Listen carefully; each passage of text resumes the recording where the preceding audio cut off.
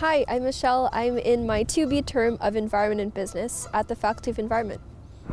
Great. How does that honking in the back? Just need a little herding dog.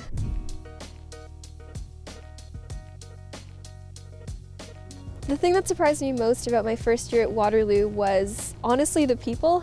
Every day was so blown away by how driven and ambitious and smart everybody was. It's really hard to walk around campus and not be inspired by everybody around you doing cool things, studying cool things, and dreaming about solutions to really big problems in the world.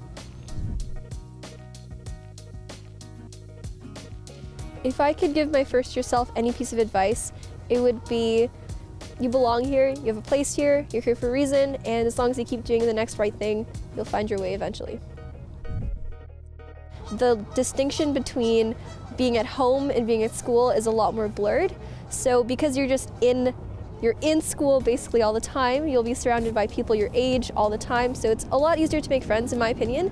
And there's just so many things going on around campus that it's really easy to get involved in a club or a team or some sort of organization. One person that comes to mind for me is Professor Michael Wood. I got to attend a lecture that he did at U of Waterloo Day back in May when I was first thinking about which university to go to. And he was so kind and so welcoming. And I actually got the opportunity to take a class that he did in my first year. And so lucky that he's the professor in my program and that I get to learn from amazing people like him.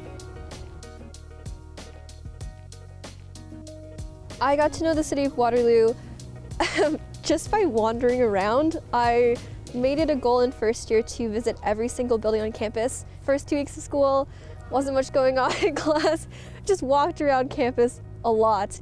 Um, and through that, got to attend, not gate crash, a bunch of different events and met people from all different faculties, got a lot of free food, um, and made a lot of friends.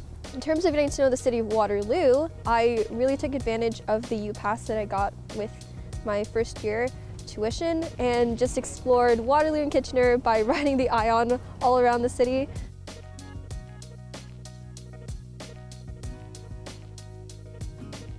University is really what you make of it and um, as long as you know you're passionate about your personal development and making the world a better place, then come to Waterloo there's something here for you.